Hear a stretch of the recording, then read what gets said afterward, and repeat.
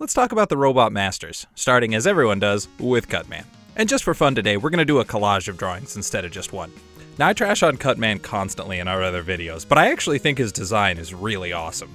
Of all of the classic Robot Masters, he is the least human by far. He has this big metal face and these head scissors. They make him seem like an early machine, maybe some kind of prototype. It seems like each Robot Master is a little bit more human than the last, which makes Cutman on one far side of the sliding scale. I wanted to keep some of the visual focus on this sort of inhumanity that he has. I think it's his biggest defining feature. And it's interesting juxtaposed against his he's actually very mobile and kind of fast in the game. So he's this sort of terrifying, like aggressive android. Being an industrial machine, I decided to interpret his colored clothing as kind of a heavier industrial cloth, maybe some kind of future canvas or other rugged material built to stand up to hard work. Cutman is a lumberjack after all, and that's Cutman. First to die, but also first in our hearts.